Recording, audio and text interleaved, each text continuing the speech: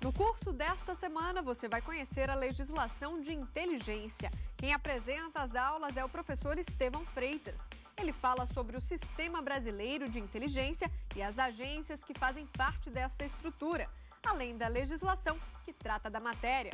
É agora no Saber Direito.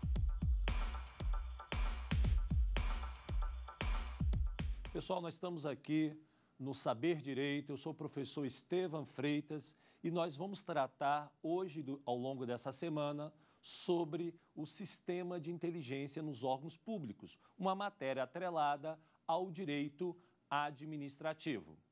Eu já ministro aulas há 17 anos, tá? Eu trabalho com direito administrativo, trabalho também com direito é, processual penal, e legislação de inteligência. São as frentes que eu trabalho há 17 anos em vários cursos, tá? não em Brasília e em outros estados, acerca é, dessas matérias. E o que eu vou passar para vocês é exatamente isso. O objetivo aqui é passar para vocês de forma prática o que a gente vai ver ao longo da semana sobre o sistema brasileiro de inteligência, ok?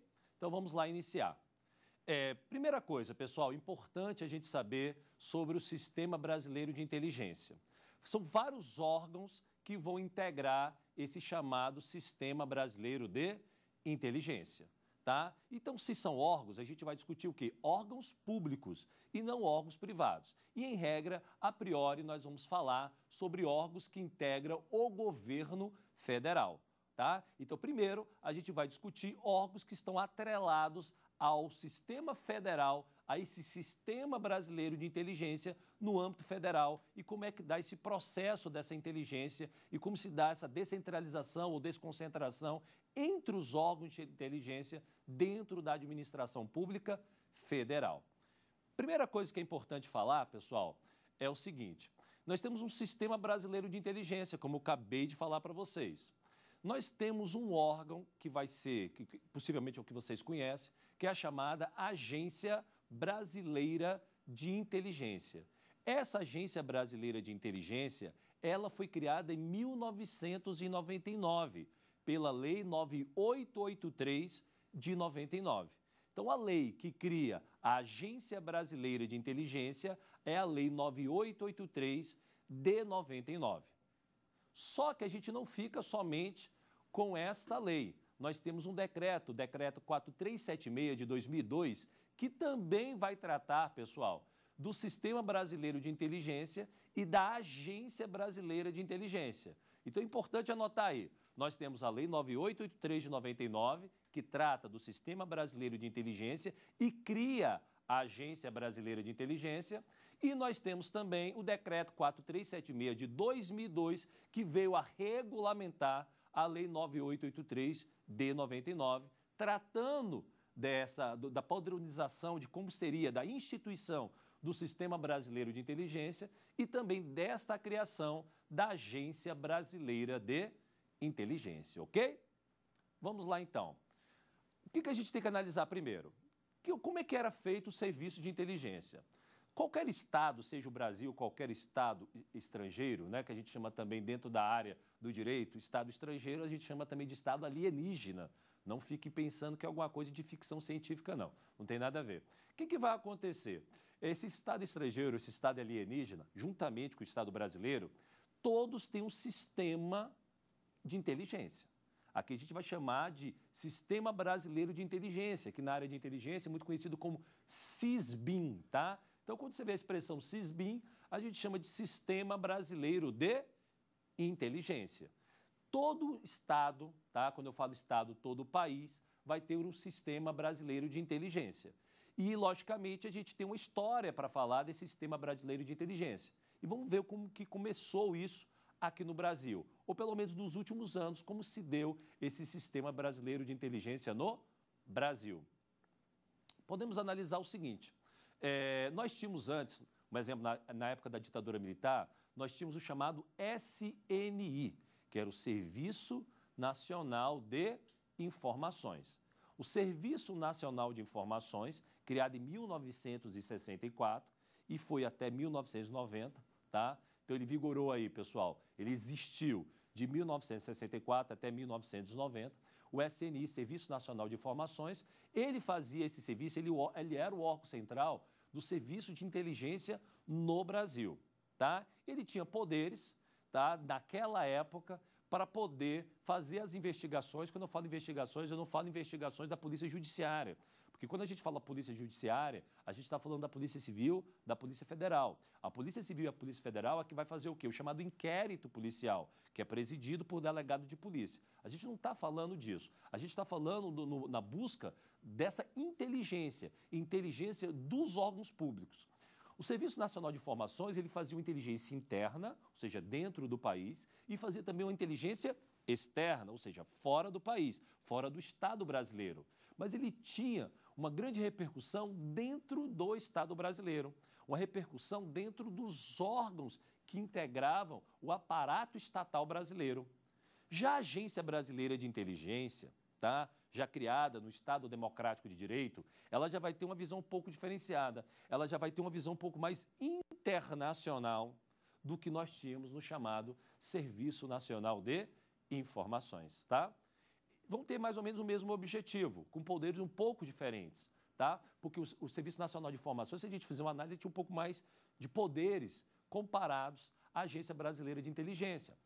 Porém, tá? Contudo, entretanto, o que a gente pode analisar que o foco mais do SNI, ele tinha um foco um pouco mais inter, interno do que o foco externo. Não que não tivesse o foco externo, tinha também o foco externo, mas ela tinha mais um foco interno do que o foco externo.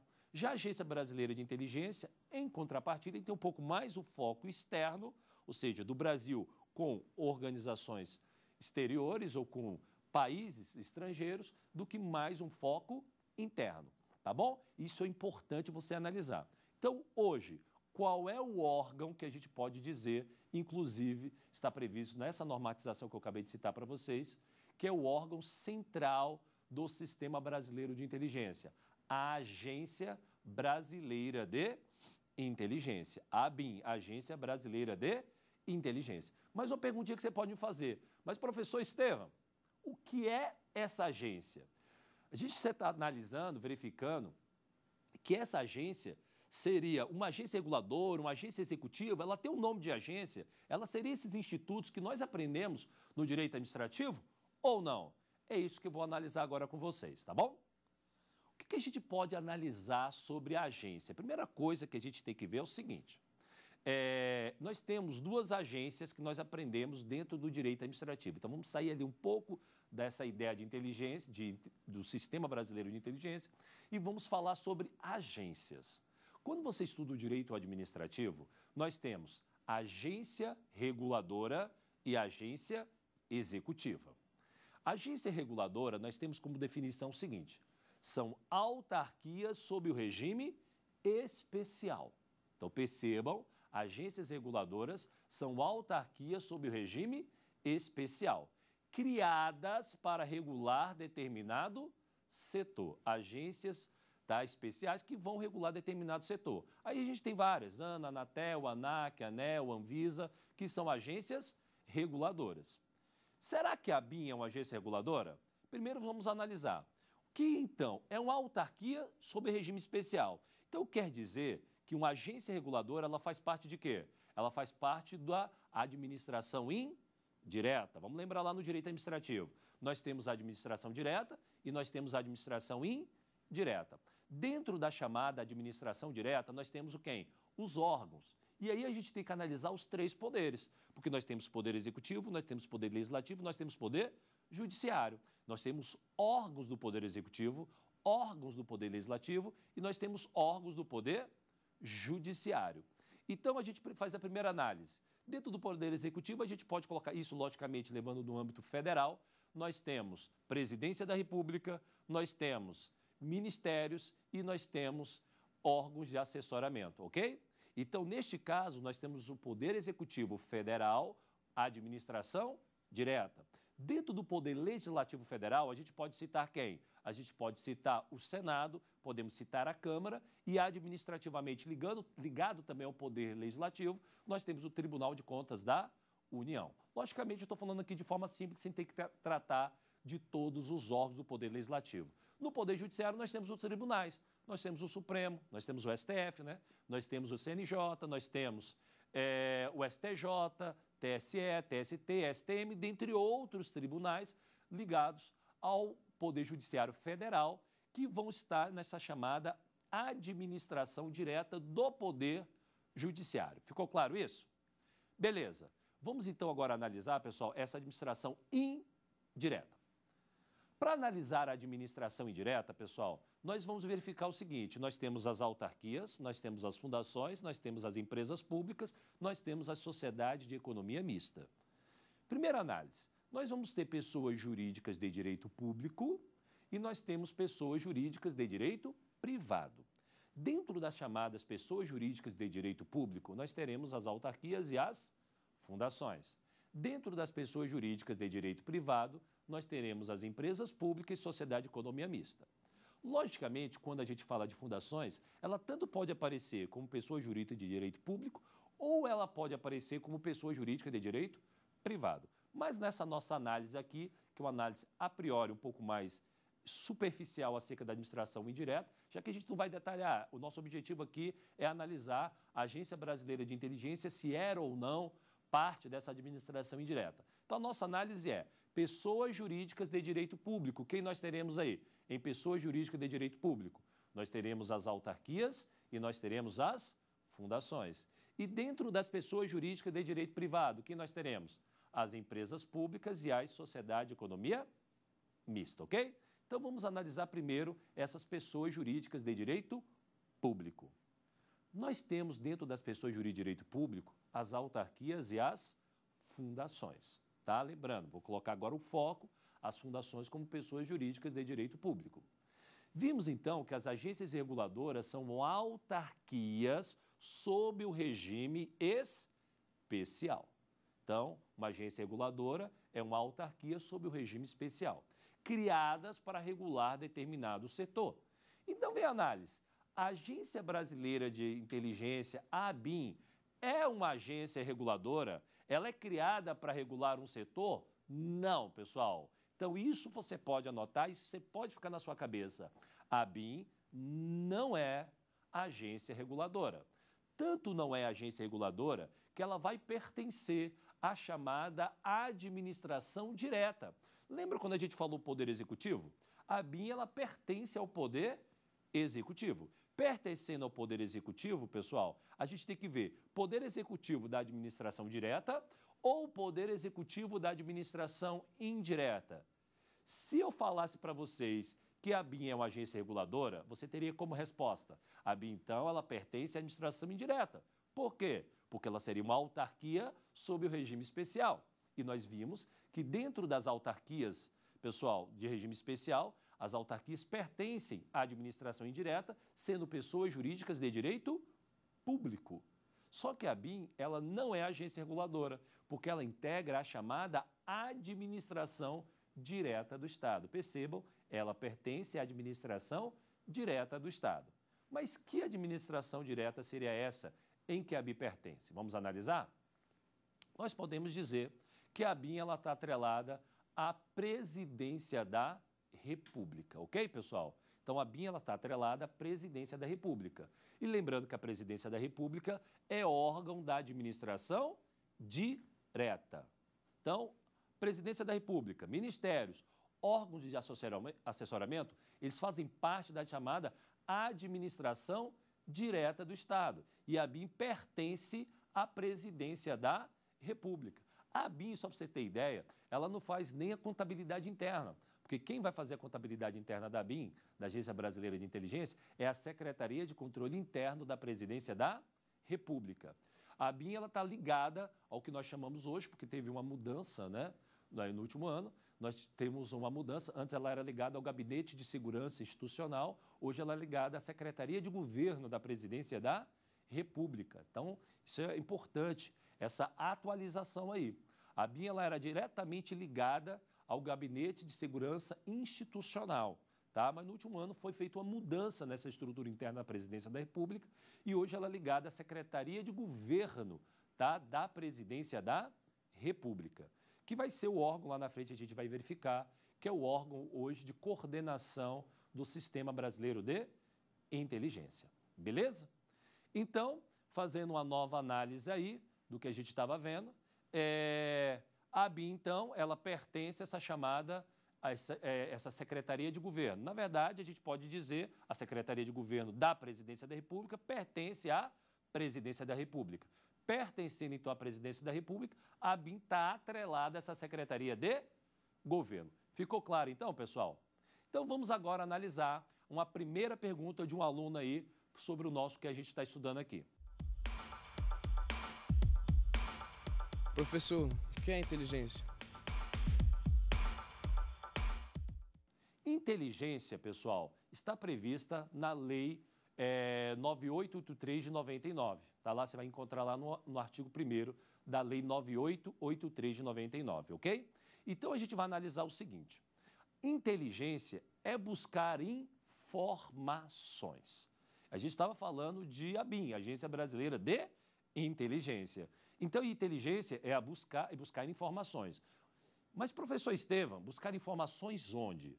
Dentro dos órgãos públicos, na sociedade, entre órgãos internacionais. Então, tem um gama de lugares aí que a gente pode buscar informações.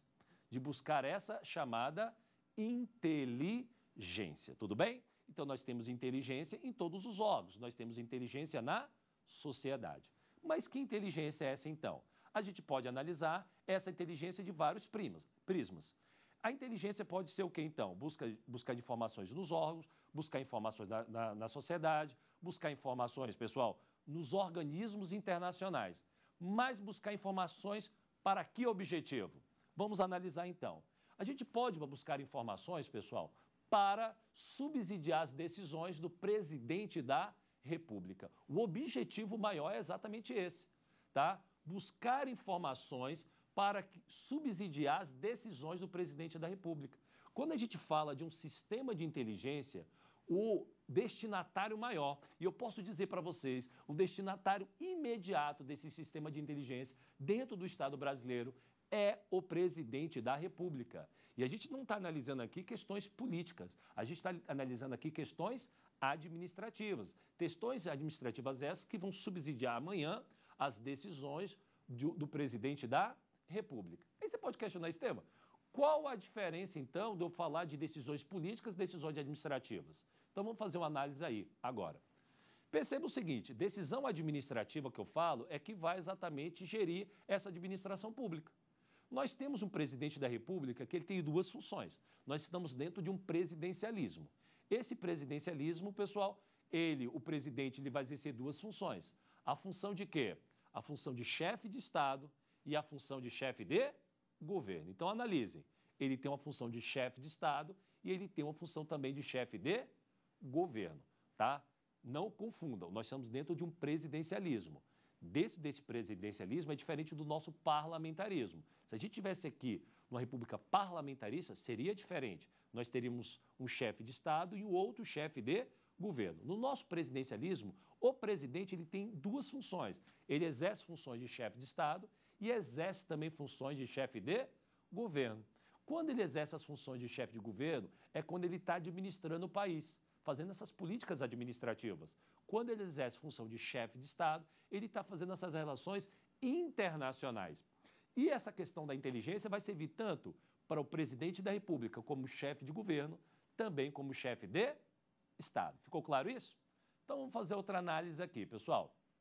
A gente tem que verificar o seguinte: lógico, vai ter elementos políticos também do presidente da República ao fazer essa inteligência? Lógico. Mas eu disse a vocês que ele é o destinatário imediato, tá? Então, o presidente da República, ele vai ser o destinatário imediato da inteligência. Os vários órgãos que integram tá? esse sistema brasileiro de inteligência vai buscar informações. E essas informações amanhã vão subsidiar essas decisões do presidente da República, logicamente, sempre em prol da sociedade, já que o presidente da República ele tem que respeitar os princípios da administração pública. Vamos lembrar um pouquinho sobre os princípios da administração pública? O artigo 37 da nossa Constituição Federal, repetindo, o artigo 37 da Constituição Federal traz os chamados princípios da administração pública, que a gente sempre lembra uma regrinha, né? A gente lembra daquela sigla LIMP, L de legalidade, I de impessoalidade, M de moralidade, P de publicidade e E de eficiência. Então, os princípios básicos, basilares da administração pública seriam os princípios da legalidade, princípios da impessoalidade, princípios da moralidade, princípios da publicidade e também princípio da eficiência. Princípio esse da eficiência que foi introduzido pela emenda constitucional número 19 de 98, ok? Então, vamos falar do princípio da impessoalidade. O que, que seria esta impessoalidade aí quando a gente analisa como princípio basilar da administração pública. Vamos lá então? O que é impessoalidade, pessoal? Impessoalidade é o administrador público, seja ele, vamos colocar aqui como o dirigente máximo do, da administração pública do Brasil, o presidente da República, ele praticar os seus atos. Ele sempre deve praticar os seus atos imbuídos de quê? Da impessoalidade. Sempre deve praticar o ato almejando sempre o interesse público. Então, o interesse sempre do Estado, tá? logicamente, através dos seus governantes, seja ele presidente, governador, prefeito, é sempre o interesse público. E aí a gente tem que analisar, ele nunca pode fugir do interesse público. No momento que o administrador público foge do interesse público, está praticando um ato com abuso de poder.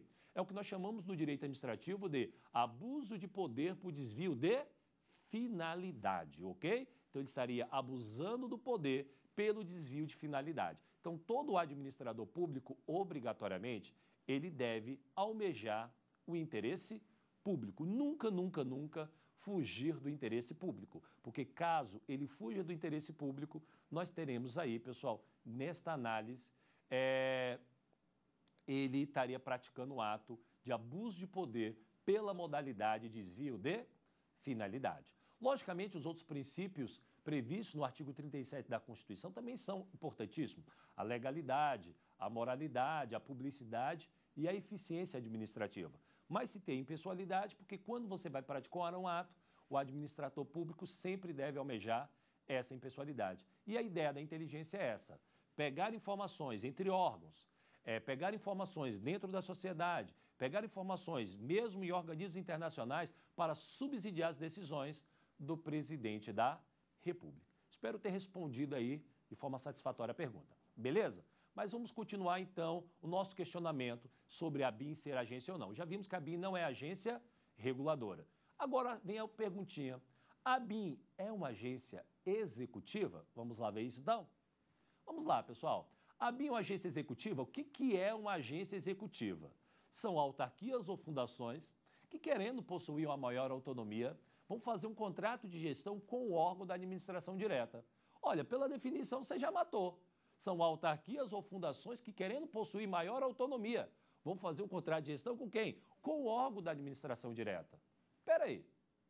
Eu disse a vocês que a BIM ela é órgão da presidência da República. Se ela é órgão da presidência da República, ela não é autarquia, ela não é fundação, ela é órgão da administração direta. Então, cuidado com isso aí, pessoal. Ela é órgão da administração direta, hoje, Presidência da República, com a ligação à Secretaria de Governo da Pre Presidência da República. Então, o primeiro questionamento que é resolvido é esse. Então, tá, a BIM é órgão da Presidência da República. Agora, quem é o órgão de coordenação desse sistema brasileiro de inteligência?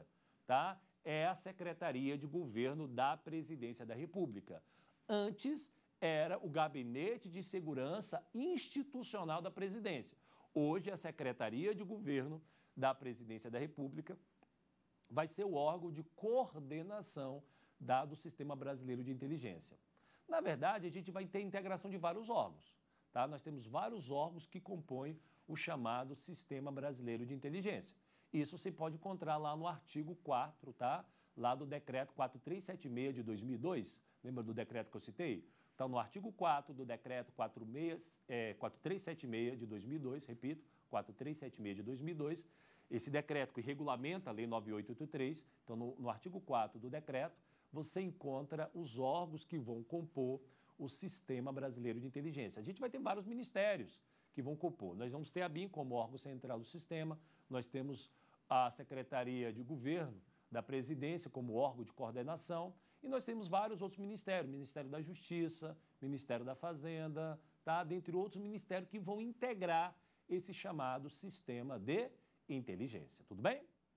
Agora, é uma coisa importante que os outros órgãos, tirando a BIM e a Secretaria de Governo, eles não têm, pessoal, uma, como eu posso dizer aí, eles não têm uma função diferenciada. Quem vai ter uma função maior diferenciada vai ser exatamente a BIM e a, a Secretaria de Governo. Um exemplo, a BIM ela faz, a, ela, ela tem a, a, a conversa com o órgão de controle externo da atividade de inteligência. Nós temos um órgão de controle externo, a gente vai falar um pouco mais à frente, mas nós temos um órgão de controle externo da atividade de inteligência, que é feita pelo Poder Legislativo. Então, este órgão tá, que faz o controle externo da inteligência, o Poder Legislativo, ele, quando for fazer uma informação, ele vai fazer essa informação através de quem? Através da Agência Brasileira de Inteligência. Então, ele tem uma função diferenciada. Ficou claro? Ele tem uma função diferenciada. Então, a BIM e a Secretaria de Governo vão ser órgãos que vão ter funções diferenciadas. Exemplo, a, Secre... a Secretaria de Governo ela vai presidir o chamado Conselho Consultivo do CISBIM. Lembrando, o que é CISBIM mesmo? Sistema Brasileiro de Inteligência. Ficou claro isso? Então, vamos analisar o seguinte, pessoal. Se a gente tem vários órgãos que vão compor o Sistema Brasileiro de Inteligência, a gente verifica que a BIM é o órgão central e a Secretaria de Governo é o órgão de coordenação deste sistema brasileiro de inteligência. Eles podem trocar informações entre si? Com certeza podem, tá? Então, eles entre si podem trocar informações, porque são órgãos que integram o chamado Sistema Brasileiro de Inteligência. Não há problema nenhum. Eles podem trocar informações. Mas para ter essa troca de informações, é imprescindível que haja a chamada anuência entre os órgãos que integram este sistema. Exemplo, eu falei para vocês que o Ministério da Justiça pertence ao Sistema Brasileiro de Inteligência. O, o, o, a, o Ministério da Justiça por meio de quem? Um exemplo, a Polícia Federal. A Polícia Federal, órgão atrelado ao Ministério da Justiça, que vai integrar, pessoal, o Sistema Brasileiro de Inteligência. Pode, então, a Agência Brasileira de Inteligência fazer uma determinada operação juntamente com a Polícia Federal dentro do chamado Sistema Brasileiro de Inteligência? Sem problema algum. Desde que haja o quê? Uma. É... Primeiro, as autoridades máximas de cada órgão elas têm que ter anuência. Então tem que ter anuência máxima do diretor da BIM e tem que ter anuência máxima de quem mais? A anuência máxima do diretor-geral da Polícia Federal. Eu não falo do ministro da Justiça, mas a anuência máxima da autoridade máxima do órgão, que é, neste caso aí, pessoal, o Ministério da Justiça, ou desculpa, o, o diretor-geral da Polícia Federal. Então, o diretor da Polícia Federal tem que saber e o diretor-geral da BIM tem que saber para eles poderem fazer uma operação conjunta. Logicamente, não operação conjunta da Polícia Federal como órgão de polícia judiciária, tá bom? Mas sim da Polícia Federal como é, integrante do chamado Sistema Brasileiro de inteligência. Perceba que eu já falei de polícia judiciária duas vezes, aí você pode questionar assim. Professor Estevam, o que é essa polícia judiciária? Você citou duas vezes aí polícia judiciária, o que viria a ser essa polícia judiciária? Dá para se dar uma definição, um conceito, para a gente poder aí ter uma visão melhor do que seria essa polícia judiciária? Então vamos lá, vamos então para esse conceito do que veio a ser polícia judiciária. Vamos analisar o seguinte, pessoal. Esta polícia judiciária, ela está dentro das chamadas polícias. Então a gente pode, vamos fazer uma classificação de polícia aí para ficar mais claro para vocês. Nós temos a polícia ostensiva, nós temos a polícia judiciária e nós temos a polícia administrativa. Então, retomando aí, polícia ostensiva, nós temos a polícia judiciária e a polícia administrativa. Quem é, seria essa polícia ostensiva? A polícia ostensiva, pessoal, é aquela que vai agir preventivamente. E por que agir preventivamente? Ela vai agir preventivamente para verificar quando que o fato, um exemplo, a polícia militar. A polícia militar, ela está nas ruas. A gente não encontra policial civil nas ruas, polícia federal nas ruas. A gente encontra polícia militar. Então, quando a gente encontra essa polícia militar nas ruas, pessoal, porque ela está fazendo o quê? A função preventiva fazer com que o crime não ocorra. Tá claro aí? Fazer com que o crime não ocorra. Então a gente tem o quê? A polícia é, que a gente tem de ostensiva. A polícia militar é um exemplo. Tudo bem? Então vamos agora para a polícia judiciária. A polícia judiciária, a gente tem o quê? Aquela que vai agir repressivamente, vai agir depois que o fato ocorre, em regra, é claro, né? Um exemplo, a gente pode dar como exemplo de polícia judiciária a Polícia Civil e a Polícia Federal. A Polícia Civil e a Polícia Federal são polícias judiciárias. E aí você pode questionar, mas professor, Polícia Judiciária quer dizer que ela pertence ao Poder Judiciário? Não, ela pertence ao Poder Executivo. A Polícia Civil vai pertencer ao Poder Executivo do Estado. A Polícia Federal ela vai existir, ela vai estar ligada ao Poder Executivo Federal. O que vai discutir se é competência da Polícia Civil ou se é competência da Polícia Federal são as suas atribuições determinadas pelas leis e pela própria Constituição Federal. Está dentro de suas atribuições. Ficou claro então? Então ela não pertence ao Poder Judiciário. Mas quando o juiz expede um mandado de prisão, quem é que vai cumprir esse mandado de prisão? Quem vai cumprir o mandado de prisão é a Polícia Civil, a Polícia Federal, de acordo com a sua atribuição. Ok? Então essa é a análise que a gente tem que fazer. Por isso que ela é chamada de polícia judiciária, aquela que vai receber os mandos do Poder Judiciário e vai cumprir, um exemplo, o mandado de prisão. E agora, polícia administrativa. O que, que seria essa polícia administrativa? Vamos lá? Polícia administrativa, pessoal, é aquela que vai agir praticada pela própria administração pública, seja ela preventivamente, seja ela repressivamente. Então, preventivamente ou repressivamente, será feito pela administração pública. Exemplo, a Receita Federal, tá? o Detran, tá? Então, eles fazem esse, essa função de polícia administrativa, age tanto preventivamente quanto repressivamente. Então, como eu estava falando, a ABI em si, ela não vai é, fazer essa função de polícia judiciária, ela não tem essa função. Então, quando ela se integrar, um exemplo, com a Polícia Federal, qual vai ser o objetivo dela ao se integrar com a Polícia Federal? Ela vai exatamente o quê, pessoal? Ela vai buscar essa inteligência, tá bom? E não fazer funções de polícia judiciária. Ficou claro? Então vamos lá para mais uma pergunta aí do aluno. Queria saber o que é contra-inteligência. A gente viu o que era inteligência, né? Agora a gente tem outra ideia, o que é contra-inteligência. Contra-inteligência, nós temos duas visões aí. Nós temos a visão da lei, Lei 983 de 99, e nós temos a visão do decreto 4376 de 2002. Comecemos pela visão da lei. Na visão da lei está lá no artigo 1 parágrafo 3 ok? Visão na lei 983 de 99 está no artigo 1 parágrafo 3 que vai dizer o seguinte: Contra-inteligência é atividade com objetivo a neutralizar a inteligência adversa. Percebam, contra-inteligência é atividade que objetiva neutralizar a inteligência adversa. Este é o conceito segundo a Lei 9883 de 99, previsto no artigo 1 parágrafo 3 Vamos agora para um conceito mais amplo, que é o conceito que está previsto, pessoal, no artigo 3 do decreto 4376 de 2002. Vamos lá então? Segundo o decreto, contra-inteligência é atividade com objetiva neutralizar a inteligência adversa. Mas não é só isso, é neutralizar, obstruir, tá? Ou seja, a lei, o decreto, ele vai trazer outras nuances para falar de contra-inteligência. Lembrando com a ideia do decreto, né? O decreto exatamente vem para regulamentar uma lei. Então ele vai dar, trazer uma complementação do que seria contra a inteligência. Não seria apenas neutralizar, seria também obstruir não só a atividade da inteligência diversa, mas como todos os meios que a retenham ou que venham a transmitir essa outra inteligência. Tá ok? Então percebam, se um organismo internacional ou se uma facção criminosa quer invadir o país, você, através da sua inteligência, vai buscar informações dessa facção. E aí você vai poder fazer o exercício da chamada contra-inteligência. Você vai poder praticar atos para ir contra essa inteligência adversa. Essa é a chamada contra-inteligência, que é basilar no chamado Sistema Brasileiro de Inteligência, ok? Ficou claro isso?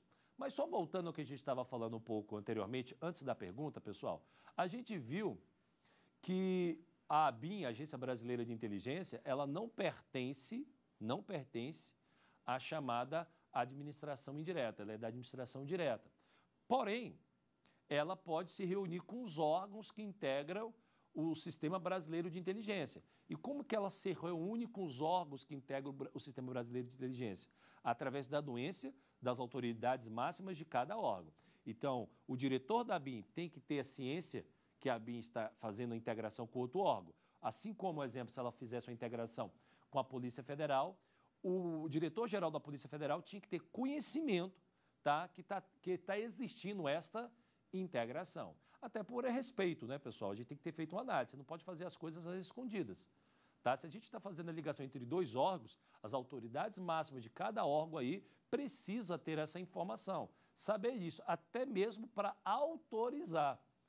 Estevam, e se não tiver essa autorização, o que, que pode gerar isso? Pode gerar a ilegalidade do ato administrativo. Então tem que ter um cuidado, porque nós temos os chamados vícios administrativos.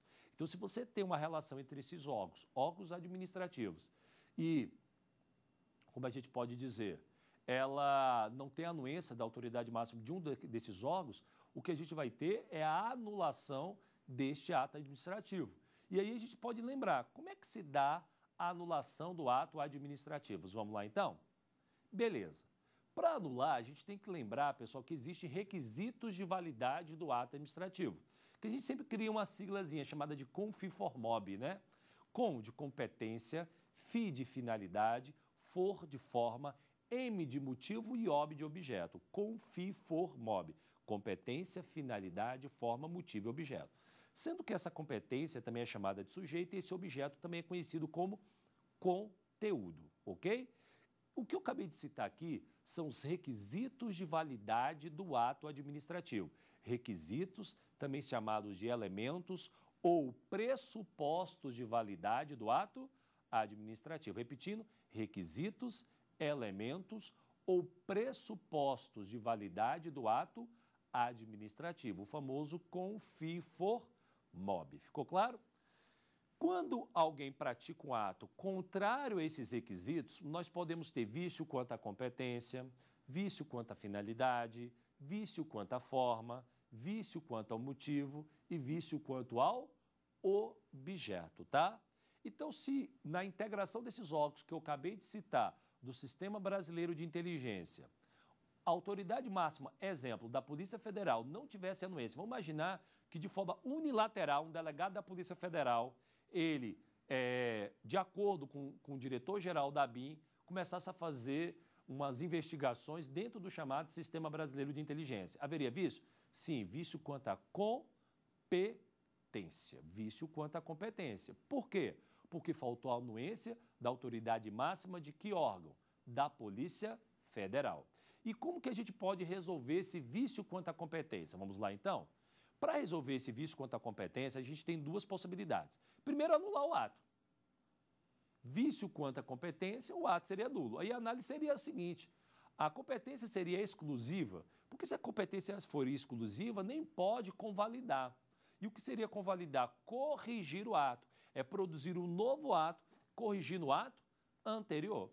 Então, se o vício fosse quanto à competência, sequer, pessoal, nós poderíamos convalidar esse ato administrativo, tá? Isso se fosse competência exclusiva, é claro. Se a competência não for exclusiva, a gente pode convalidar. Ou seja, a outra autoridade, um exemplo, o diretor-geral da Polícia Federal, ele podia confirmar o ato, é chamada ratificação. Então, ele poderia ratificar o ato administrativo, confirmando este ato administrativo. Isso aí seria uma convalidação do ato administrativo, como diz a grande autora Maria Silvia Zanella de Pietro. Né? A de Pietro sempre determinou isso, também está lá na Lei 9784 de 99. A Lei 9784 de 99, que é a Lei de Processo Administrativo, ela vai falar sobre o Instituto da Convalidação. Mas um dos grandes autores que trata do assunto de forma bem esclarecida é a autora Maria Silva Zanella de Pietro, que vai falar sobre a convalidação do ato administrativo. Então, o ato administrativo convalidatório, então, ele produziu um novo ato corrigindo o ato anterior. Caso contrário, o que poderia ser feito? A anulação do ato. Mas quem pode convalidar é a administração pública. É ela que vai analisar se é melhor, naquele caso concreto, anular o ato ou fazer a sua convalidação.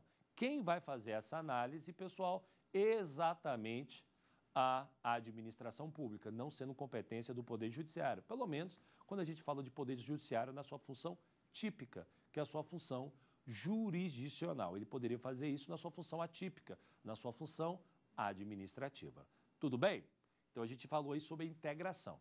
Saindo dessa integração, então, vamos analisar um pouco mais esse sistema brasileiro de inteligência. Tínhamos visto que o artigo 4, então, do decreto 4376 de 2002, ele fala dos órgãos que compõem o sistema brasileiro de inteligência. Falei que o órgão de coordenação seria a Secretaria de Governo, tá? lá da Presidência da República, e vimos também que o órgão central do Sistema Brasileiro de Inteligência seria a Agência Brasileira de Inteligência, tá? Então seria a Agência Brasileira de Inteligência. Então a gente vai agora por algumas nuances desse Sistema Brasileiro de Inteligência. Se existem vários órgãos que compõem, praticamente grande parte dos ministérios compõem o Sistema Brasileiro de Inteligência, esses órgãos eles possuem autonomia. Perceba, eu não estou falando do órgão em si, na sua função administrativa, porque, lógico, dentro da sua função administrativa, eles vão possuir autonomia. Agora, dentro do sistema brasileiro de inteligência, esses órgãos possuem autonomia. Os órgãos que compõem o sistema brasileiro de inteligência, eles vão ter autonomia? Vamos analisar então? A questão é a seguinte, pessoal: os órgãos, vocês podem anotar isso aí, os órgãos possuem sim autonomia, mesmo dentro do sistema brasileiro de inteligência. Mesmo dentro do sistema brasileiro de inteligência, os órgãos possuem autonomia, tá? Um exemplo, eu disse que a BIM é o órgão central do sistema. Ela pode, então, contra uma decisão de um órgão que integra o sistema brasileiro de inteligência? Não. Eles vão se articular, tá? Então, cada órgão eles podem se articular para poder exercer as funções dentro do sistema. Porém, você não pode ir contra a autonomia desses órgãos. Cada órgão possuirá a sua autonomia. Então, eu falei para vocês um exemplo. A Polícia Federal, ela representa, ela é uma das representantes é, do Ministério da Justiça no sistema brasileiro de inteligência. Por que isso? Porque a gente tem o chamado fenômeno da desconcentração administrativa. Vocês vão lembrar, pessoal, que eu falei que a BIM ela não é descentralização, porque ela não pertence à administração indireta. Mas lógico que ela vai ser uma desconcentração dentro da presidência da República. Ela vai pertencer a esta presidência da República, então ela vai ser uma desconcentração. E a Polícia Federal, ela não é diferente, ela faz parte da desconcentração de quem? do Ministério da Justiça. Estevam, você estava falando de autonomia. Beleza. Você disse então que os órgãos que integram o sistema têm autonomia. E agora você começou a falar de desconcentração. Eu só queria entender qual é a relação dessa autonomia com essa desconcentração. É isso que eu queria chegar. É esse ponto que eu queria chegar. Presta atenção. Eu disse a vocês que a Polícia Federal ela, ela vai representar, ela é um dos que representam ao Ministério da Justiça dentro do sistema brasileiro de inteligência. Se ela representa, ela tem autonomia? Sim, porque ela tem autonomia funcional. Se ela não tivesse autonomia funcional, a gente teria, estaria dentro do Estado em que o ministro determina o que a polícia vai fazer. E não é o que acontece. Logicamente, pessoal. Ela vai ter, logicamente, uma subordinação administrativa ao Ministério da Justiça, mas dentro da sua função típica, que é exatamente sua função fim, tá? que é o exercício da atividade policial, ela vai ter autonomia. Isso é fato, ok? Isso você consegue ver né, pela mídia, nas, nas operações da polícia. Ela tem autonomia. Agora, administrativamente, ela está ligada ao Ministério da Justiça? Então, um exemplo, quando sai um edital de um concurso da Polícia, da Polícia Federal, está lá, primeiro, Ministério da Justiça, abaixo, Departamento de Polícia Federal. Isso que eu quero explicar para vocês, que é desconcentração administrativa. Elas possuem autonomia, mas existe a desconcentração administrativa. Então vamos para algumas nuances. Vamos aqui definir melhor o que seria essa desconcentração administrativa. Vamos lá então? A desconcentração administrativa, pessoal, seria quando um órgão está atrelado a outro, tá? Aí eu estou falando de administrativa, não na sua função típica, porque aí na função típica eles vão ter autonomia. Mas na questão administrativa, a gente vai analisar que um órgão está atrelado a outro. Estaria vinculado, inclusive subordinado a esse outro órgão não na sua função fim, mas sim na sua função administrativa, ok? Então, eles vão ter exatamente essa nuance, essa, essa visão aí de estar tá atrelado, pessoal, a, a um órgão. Isso a gente vai ter ideia da desconcentração. Então, a Polícia Federal, ela é uma desconcentração de quem? Ela é uma desconcentração do Ministério da Justiça. A BIM é uma desconcentração de quem? É uma desconcentração da presidência da República, vinculada e subordinada à presidência da República, logicamente tendo sua autonomia dentro das suas funções, dentro dessas funções, dentro do chamado Sistema Brasileiro de Inteligência. Ficou claro isso? Então, voltando aí, a gente viu que a BIM, então, ela é uma desconcentração da presidência e a Polícia Federal, pegando dois exemplos, é uma desconcentração do Ministério da Justiça. Tranquilo, pessoal? Vamos então para mais uma pergunta de um aluno. Qual o papel da ABIN no Sistema Brasileiro de Inteligência? Primeiro, ela é o órgão central do Sistema Brasileiro de Inteligência. Eu falei que existem dois órgãos que, dentro daqueles que compõem o Sistema Brasileiro de Inteligência, eles vão ter uma influência maior. Porque os demais não têm uma, dentro da Lei 9883 e do Decreto 4376, os outros órgãos que integram, que está previsto lá no artigo 4 do Decreto 4376-2002, os outros órgãos, eles não têm uma função específica. Mas a Secretaria-Geral da, da, da, Presidência da República, órgão de coordenação, e a BIM, que vai ser o órgão central da Presidência da República, vão ter funções um pouco diferenciadas. E que funções seriam essas? Vamos lá. Um exemplo. A Secretaria-Geral vai presidir o chamado Conselho Consultivo da, Presidência da República. Então, a Secretaria de Governo, repetindo, a Secretaria de Governo da Presidência da República vai presidir tá, o Conselho Consultivo do Sistema Brasileiro de Inteligência. Já a BIM, ela vai ser o órgão central do sistema. Então, vamos fazer aqui uma análise. Nós temos o chamado órgão tá, de controle externo da atividade de inteligência. Órgão de controle externo da atividade de inteligência. E quem seria o órgão de controle externo da atividade de inteligência? Seria o Poder Legislativo. Poder Legislativo através de quem? A líderes da maioria e minoria do Senado e da Câmara e presidente das Comissões de Relações Exteriores e Defesa Nacional das duas casas, do Senado e da Câmara.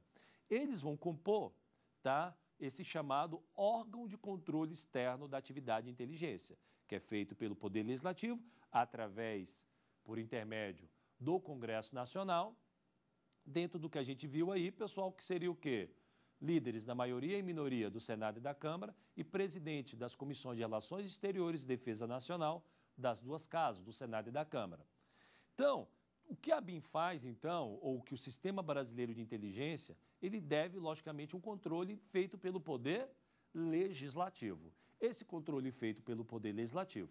Agora, a análise é, quando o sistema, o SISBIM, Sistema Brasileiro de Inteligência, tem que se comunicar, percebam, tem que se comunicar com o órgão de controle externo, a BIM se comunicando com o órgão de controle externo da atividade de inteligência. Repetindo, melhor, o CISBIM se comunicando com o órgão de controle externo da atividade de inteligência.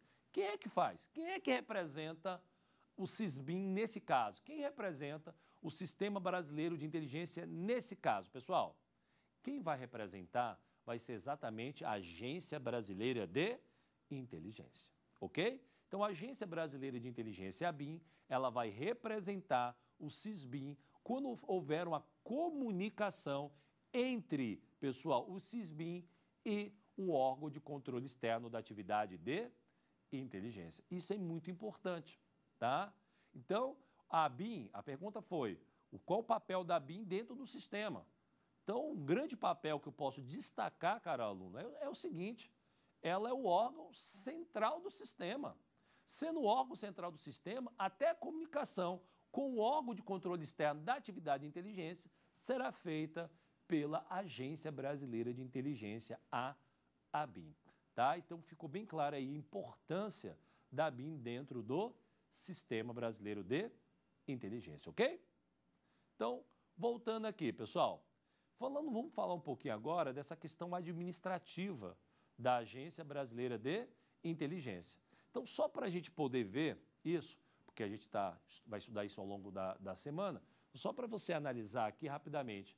Então, lógico, se ela não tem uma autonomia administrativa, ela vai estar atrelada ao quê? Se ela tem autonomia administrativa, ela vai estar atrelado à, secreta, à presidência da República. E ela sequer faz a sua contabilidade interna, que a contabilidade interna é feita pela Secretaria de Controle Interno da Presidência da República, ok? Então, a gente verifica essa questão administrativa, a questão dos cargos, que a gente vai verificar em, durante a semana esses tópicos importantes aí também sobre a questão administrativa da Agência Brasileira de Inteligência.